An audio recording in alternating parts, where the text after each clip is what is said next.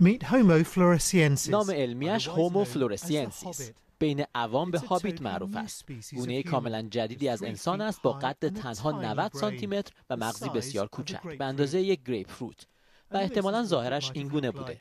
از زمان کشف هابیت در جزیره فلورس در اندونزی پژوهشگران تلاش کردند معمای اصل و نسب او را حل کنند. به ویژه اینکه یک گونه به این کوچکی از انسان چه روند تکاملی را پیموده خلاصه جد هابیت کیست؟ سه نظریه اصلی در این باره وجود دارد.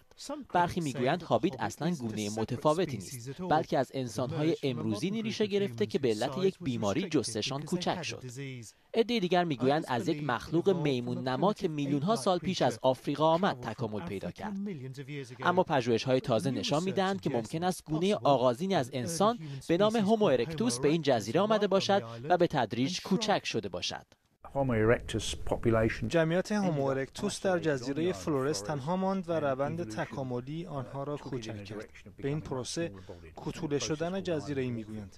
برای بسیاری گونه های دیگر هم اتفاق افتاده. این مورد احتمالا حالت خیلی خاصی بوده با تاثیرش روی یک جمعیت انسانی که صدها هزار سال در این جزیره زندگی می‌کرد.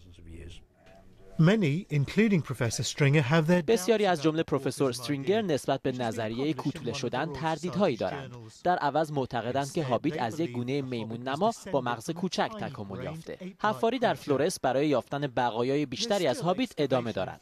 تا شاید بحث درباره اصل و نسب این گونه انسان مرموز به سرانجام رسد. This most mysterious of humans. Palab Ghosh, BBC News.